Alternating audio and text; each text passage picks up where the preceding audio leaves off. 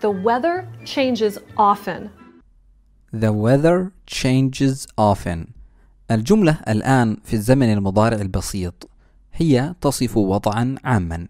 لكن ماذا لو أن أنا تتحدث عن وضع قائم حاليا؟ لنغير الجملة إلى زمن المضارع المستمر. Present continuous. لتصبح الطقس يتغير الآن.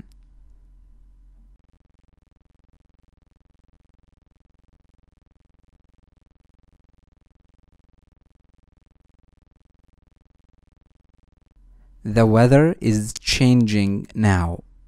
كما تعلم يجب إضافة فعل يكون verb to be لأي جملة في المضارع المستمر وقد استخدمنا هنا is لأننا نتحدث عن شيء مفرد ثم أضفنا ing إلى نهاية الفعل بعد أن حذفنا منه s The weather is changing now. The weather changes often. The weather changes often. حاول الآن أن تغير الجملة إلى الماضي المستمر past continuous فكأنها قالت كان الطقس يتغير كثيرا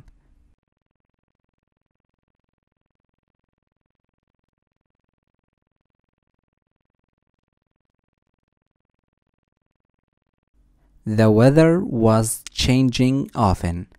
لا فرق بين المضارع المستمر والماضي المستمر إلا في شكل فعل يكون verb to be. فهنالك أتينا ب is وهنا أتينا ب was.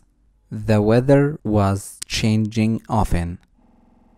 Every day I check the forecast. Every day I check the forecast. هذه الجملة في المضارع البسيط بدليل عبارة every day. لكن ماذا لو أن أنا تتحقق من حالة الطقس الآن؟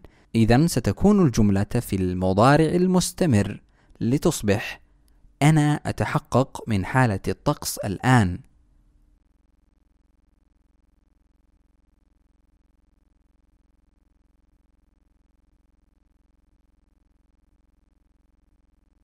I am checking the forecast now. كما فعلنا سابقا أتينا بالفعل المساعد am وأضفنا ing للفعل الأساسي. وقد أتينا ب am وليس is لأن الضمير هنا هو I. I am checking the forecast now. Every day I check the forecast. Every day I check the forecast. ماذا لو كانت تتحقق من حالة الطقس ودخلت عليها صديقتها؟ فسألتها عن ماذا كانت تعمل. ستجيب باستخدام زمن الماضي المستمر. كانت تقوم بشيء قبل دقائق. ستقول حينها كنت أتحقق من توقعات الطقس.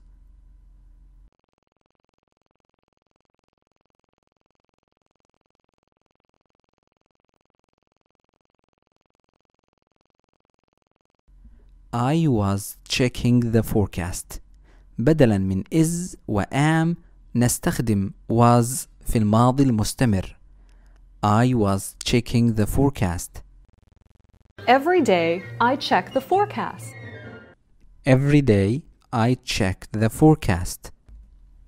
غيرنا هذه الجملة إلى المضارع المستمر والماضي المستمر. لم يبقى إلا أن تتحول إلى المستقبل المستمر. Future continuous. أي حين تسألها صديقتها عن العمل الذي ستكون بإزائه في الغد الساعة كذا وكذا. حينها قد تجيب أنا وتقول سوف أتحقق من توقعات الطقس. سأكون بإزاء التحقق من حالة الطقس.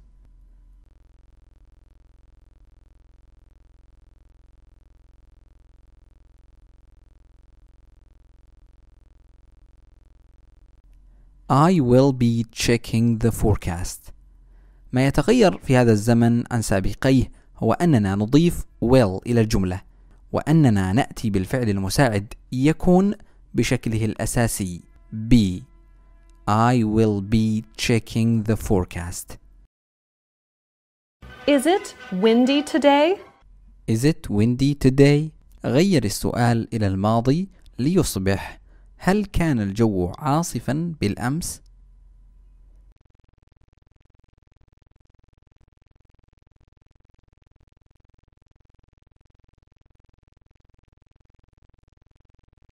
Was it windy yesterday؟ فقط غيرنا is إلى was. Was it windy yesterday? Is it windy today? Is it windy today?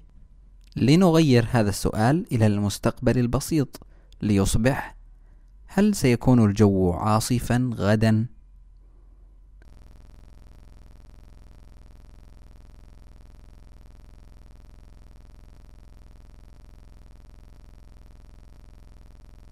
Will it be windy tomorrow?